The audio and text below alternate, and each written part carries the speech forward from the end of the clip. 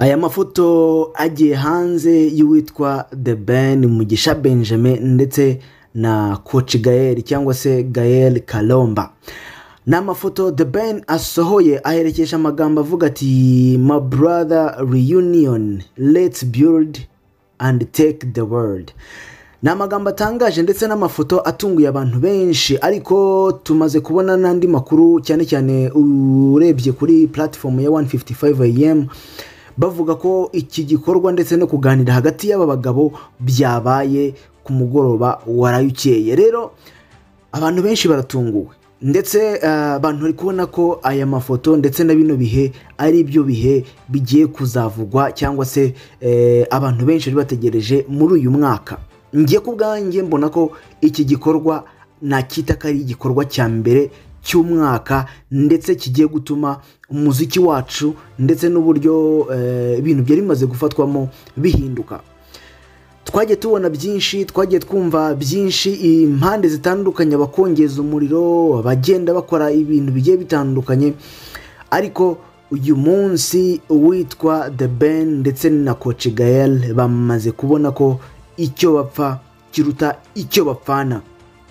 Nakwibutsa ko ubundi umwuka mubi wa hagati yabo wagiye utangira cyane cyane ubwo The Ben ndetse na Gael batangira gukorana. Bari muri leta z'ubumwe za amerika ndetse bakajya kwa porocingo witwa diamond platinums ndetse uburyo spending uburyo bagiye bakorana byose bikaza kuba ikibazo ndetse bikaza kugaragara ko uwitwa Coach Gael akabona ko arimo arakoresha amafaranga menshi kuruta expectation cyangwa se na bijeri yateguye. Icyo gihe rero uwitwa Gael yese afata uwitwa wari producer medbeat aba aramutwaye bajya kwa konde boy. Murabizi ko konde boy adakorana n'uwitwa diamond platinums. Icyo gihe rero biba ikibazo n'indirimbo barimo barategura isa n'aho idindira ndetse biza kugaragara ko uwitwa Coach Gael yaba yaragambaniye The Ben. Ibi impamvu ibindi kubigarukaho ni ukugira ngo umuntu utazi itangira ry'urwango rwabo n'impamvu abantu bagize attention kuri aya mafoto baze gusobanukirwa impamvu.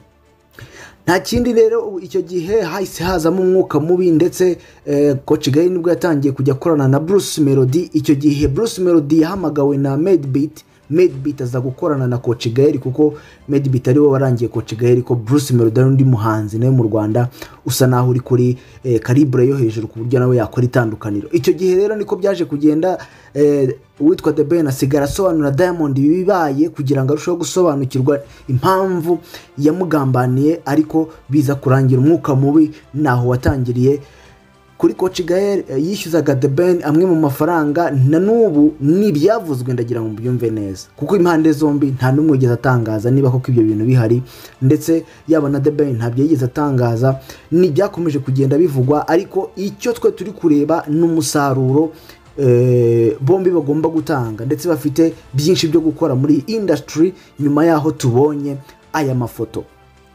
Byakomeje kugenda rero biba ikibazo ndetse bikomeza kugenda bikurura umwuka mubi aho byaje no kugera ku witwa element. Bigenda bihuzwa cyane cyane abantu bagenda bubaka amatimu hari bamwe mu bagabo bakomezaga gukongeza umuriro. Bamwe bavuga ngo ni timu b undi ngo ni timu b. Ubwo bashaka kuvuga timu bruce na timu ben.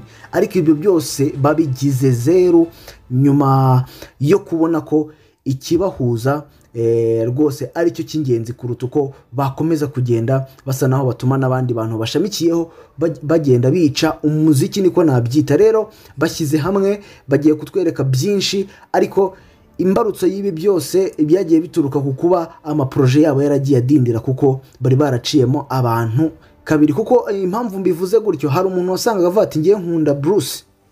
Rero ibyo kuvuga ngo gutya na gutya rimwe na rimwe ugasanga amarangamutima niyo atwaye abantu kandi hagakwiye kurebwa icyateza umuziki wacu imbere. Aka kanya rero bombi bamaze kugikuraho. Byabaye kuri element ubwo yavaga muri country record. Bamwe bagatangira kuvuga ko Coach Gael arimo arashaka kwica umuziki. Abantu rwose barabivuze cyane ndetse n'udafite amakuru agahita abyakira atyo atabanje kumenya ikijya mbere.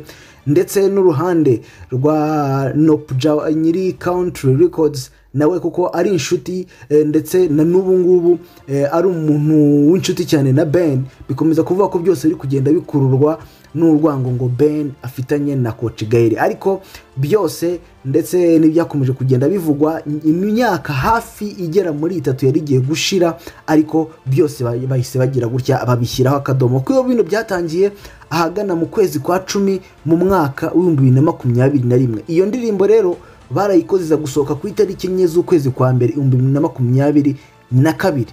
Haciyeho iminsi mike iyo ndirimbo imaze gusohoka uwitwa bruce melody ndetse na konde boy nabo basohoye indirimbo yabo.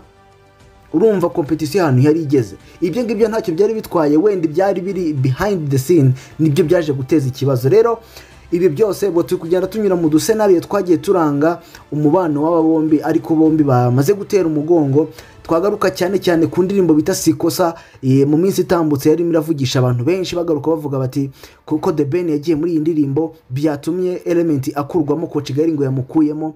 Ni ibintu byakomeje kugenda bivugwa ndetse nabagejeho ikiganiro mbabwira uburyo eh, naganiye na the ben ndetse na the ben avuga ko ibi ngibi bigiye gushakirwa umurongo ndetse umurongo n'uyu nguyu tubonye kuko Gael nta kintu yigeze atangaza kuri ibyo bintu ahubwo icyakozwe ni iki ngiki tubonye aho ku munsi w'ejo hashize bagize gutya bakaganira bakareba icyateza umuziki wacu imbere ndetse n'impande zombi. Kuko Gael afite ibikorwa binini muri music industry. The ben nawe ni uko ni umuntu munini ariko bose bagize gutya bashyira hamwe kugira ngo bubake. Ikintu ndiho ni iki?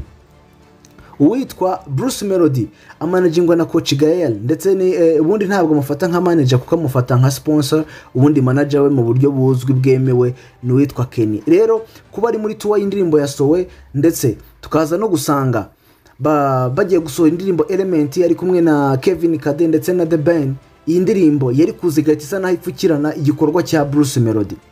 Ahangaha ndahita mbibona ko babaye nk'aho bamubererekera kuko aka kanya ubu tuvugana uwitwa bruce melody ari kubarizwa mu gihugu cya kenya yagiye muri media tour. Rero eh, ibi byose byabaye ndetse no kutabona indirimbo eh, ya bruce melody eh, nako indirimbo ya the ben ari kumwe na element ndetse na kevin kade. Nuko habanje kugira ngo habe bino biganiro ndetse barebe icyaba kirimo kiratera ndetse bashakire hamwe igisubizo cyakemura kino kibazo kuko byari bimaze kuba too much. Akenshi ubona bitangiye no kugenda byinjira mu miryango ndetse byagiye binagaragara kenshi bamwe bagashaka kubisunikira kuri gael kuko eh, hari ibyavuzwe abagiye mu muryango wa the ben bamwe bakavuga ati ni gael watumye ndetse n'ibyagiye bikorwa ndetse n'abandi bakajya bibasira umuryango wa Gael ndetse bagaragaza ko nta kintu arimo aramarira umuziki w'u Rwanda. Byose bije guhabwa umurongo rero kuri iyi tariki ari na cyo kintu nakubwira ko kirimo kiravugwa abantu benshi baba excited kubona aya mafoto bombi bicaye bari gusangira ahubwo ubu ngubu twakibaza ngo yaba The Ben yaba Gael ni ikihe kintu noneho bagiye guhita bagaragaza ko cyari cyarabuze muri music industry? Kuko nk'ubu ngubu ngewe eh, mu buryo bwanjye nabonaga ko uwitwa the ben aba afite impungenge zo kuba yagira igihangano cye ashyira hanze kuko yumvaga ko hari ah, itsinda ry'abantu runaka bashaka kugira ngo bahite bashyira hasi ibikorwa bye. Abandi bati Coach Gael nawe afite ikibazo cyo kuba hari abandi bamubona mu yindi sura. Kandi wenda siko bimeze yaba na The Ben hari abandi bamubona mu yindi sura twagiye twumva amagambo amwe n'amwe ngaririza ibindi ngo yigira victime gutyo Coach Gael nawe atari kwica umuziki ibintu nk'ibyo nyine ibintu byagiye biza bisa naho biteza impagarara hagati y'aba bantu. Rero byose bicaye barabiganira eh, ikiganiro cyamaze amasaha menshi kuko ukurikije nk'uko babyanditse kuri 155 media bivuga ko ikiganiro gishobora kuba cyatwaye hafi amasaha agera muri ane atanu baganira bombi bareba icyo bagakoze. Urumva abantu bajya kwicara kuganira babanje kuganira wenda kuri phone kuri whatsapp cyangwa hehe. Ariko ntekereza ko noneho ubu ngubu tugiye kubona the ben moving on akajya muri 155 am akarikodingayo cyangwa se akajya kuri country record akarikodinga nyine ahantu hose bagakorana. Cyangwa se tukaba twabona na korabo ya bruce melody ndetse na the ben ibi ni ibintu kuba twabibona ntabwo ari ibintu byadutungura. Ariko nanone ukongera ukavuga uti- ese yari yo nzira yo kugira ngo uwitwa Gael amenyekane? Bwaba ari bwo buryo bakoresheje kugira ngo batigise imbuga nkoranyambaga? Ko bamwe bari gukomeza kugenda bigarukaho mu makomenti nagiye mbona cyane cyane kuri kuri aya mafoto uh, the ben yasohoye. Ariko urabona ko ari cyo kintu abantu bari kugenda bavuga ati nubwo byaba showbiz yes nibo bombi babigiyemo ndetse nubwo ba- abantu bagiye babivugaho bitandukanye ibyo nta kibazo. Icya mbere ni uko bombi eh, babiziranyeho niko showbiz ikora niba ari nako byagenze nta kibazo bitwaye. Ariko niba atari nako tumenye ko icyo bari gushaka bose ni neza y'umuziki ni iterambere ryabo ry'umuziki ndetse n'abafana babo bagakomeza kuryoherwa n'ibihangano byabo ndetse na invesitimenti yabo.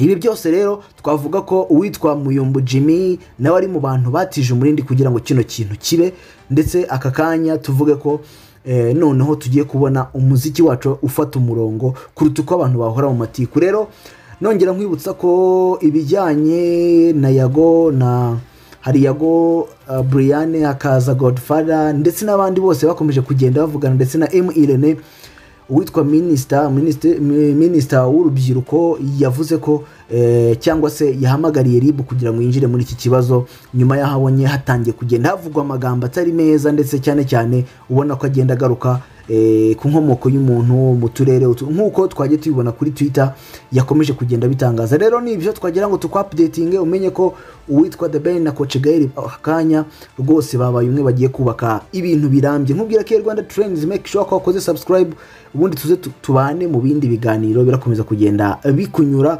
Impamvu rero iyi update tuyikoze nuko twagiye tugaruka cyane cyane ku mubano w'aba bantu kenshi ariko tukwereke neza noneho aho ibintu bigeze aka kanya kugira ngo hatazagira undi ukuvangira uwundi byose si ikosa.